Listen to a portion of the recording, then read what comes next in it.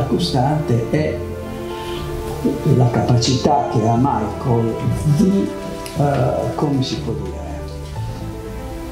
di respirare con il respiro della natura, di quello che è di fronte a lui.